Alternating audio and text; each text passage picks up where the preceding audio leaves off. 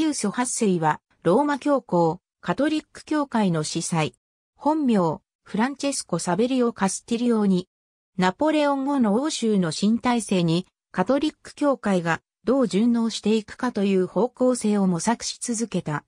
1761年、教皇領のチンゴリで貴族の家に生まれたカスティリオにの前半生において、ヨーロッパはまさにナポレオン時代であった。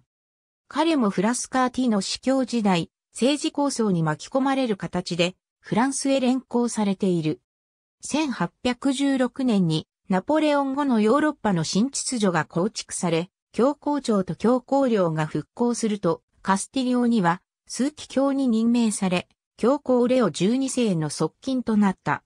レオ12世没後のコンクラーベで新教皇に選ばれると、カスティリオには、ピウス8世を名乗った。ピウス8世の教皇在職時代のヨーロッパは、ナポレオン後の不安定な時期であった。ピウス8世は、この不安定さの原因が秘密結社とプロテスタントの策動にあると考えていたらしく、この両者を厳しく求断している。フランスでは7月革命によって、ルイ・フィリップが即位する。ピウス8世は、フランスの教会を再び、フランス政府の手から取り戻したいと考えつつ、ルイ・フィリップをフランス王として承認している。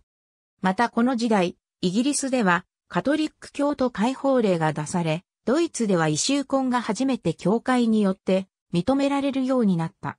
近代国家へと変質し続ける欧州の諸国家にカトリック教会がどう対応していくかが問われていたのである。ピウス8世が1830年に急の病を得てそのまま逝去すると、グレゴリウス16世がその後を継いだ。ありがとうございます。